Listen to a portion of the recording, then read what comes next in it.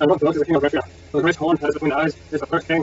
Now that being rose from their eyes, four stood up four kingdoms shall stand up out of the nation with not in his power. And the lion found the kingdom and the king shall come to all. A good countenance and understanding person, he shall stand up, and his power shall be mighty, but not by his own power. And he shall show wonderfully, they shall prosper and happiness and shall destroy mighty, and all the people of Britain policy also shall cause that path, but prosper in his hand. And shall make a man in his heart and be himself. He shall destroy many, and he shall stand against the prince of business. They shall broken without hang. In the vision of evening, the morning which was full, clear with wherefore shalt thou have no vision. It shall be for many days, and I may offend no certain, sick of certain days. Afterward I rose up into the king's business, I was astonished at the vision, but understood chapter 9, the first year of Darius, the son of Ahasuerus.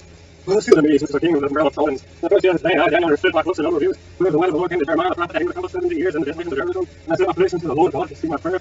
And supplications and fasting, and sackcloth and ashes, and I prayed unto our Lord our God, and made my confession. And said, O Lord, the grace and dreadful God, keeping the covenant and mercy to them that love him, to them and his commandments. We have sinned and committed iniquity, and we have done wickedly and rebelled. Even by departing from the precepts from thy judgments. Neither have we hearkened unto the servants prophets, to speak in the name to our kings, our princes, our fathers, and all the people of the land. O Lord, righteousness belong unto thee, unto the confusion of faces, not this day, from men from Judah, and the inhabitants of Jerusalem, and the whole of Israel, that are near, that are far off, through the countries whither thou hast driven them, because of oh, the best against thee. O Lord, just belong confusion of our kings, our princes, our fathers, because have sinned against thee. The Lord our God, the Lord mercy and forgiveness. The who rebel against them, neither have obeyed the voice of the Lord our God, to walk in the laws which he set before us, the servants of the prophets. Neither have obeyed the voice of the Lord our God, to walk in his laws which he set before us by his servants the prophets. Today all Israel hath transgressed the law, like law, and by the they might not obey the voice therefore, the curse is poured upon us, and the oath that is written in the law of Moses, the servant of God, before we have sinned against him, and have confirmed his words which he spake against us, against our judges that judge us by the bringing upon us a great evil, for the whole heaven hath not been done as hath been done upon Jerusalem. It is written in the law of Moses, all evils come upon us, and we may not appear before the Lord our God, that we might turn from our iniquities, and understand by the truth. Therefore hath the Lord watched upon the evil, and brought it upon us, for the Lord our God is righteous, and all his words which he doth, for we obey not his voice, and now, Lord our God, that is what thy people forth out of the land of Egypt, and with a mighty hand